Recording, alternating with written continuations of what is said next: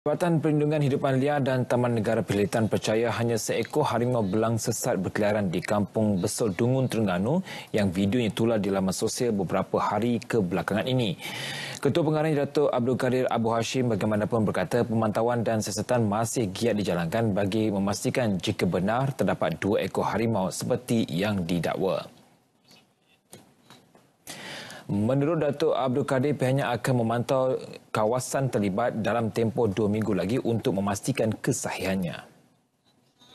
Dua ni. Macam mana kan? Tapi kalau ikutkan hasil siasatan, kita kita kita yakin harimau tu seko lah. Harimau tu seko je. Sebab tapak sama je. Saya bukan tapak, saya tapak. Sama je.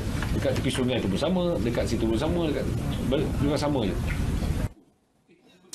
Datuk Dr. Abdul Kadir ditemui selepas majlis syarahan awam di UMT Kuala Terengganu. Menurut beliau lagi, lazimnya harimau berlanjantan tidak akan bergerak secara perkumpulan berbanding harimau betina maupun singa. Pada Khamis lalu, penduduk kampung Besol di Bukit Besi Dungum gempar apabila dua ekor harimau yang kelihatan jinak berlega di kawasan kediaman mereka. Menerusi video yang tular di laman sosial itu menunjukkan haiwan tersebut tidak menyerang manusia apabila dihampiri. Ekor itu beberapa andaian dan dakwaan timbul kemungkinan harimau itu dibela individu sebelum dilepaskan di dalam hutan berhampiran.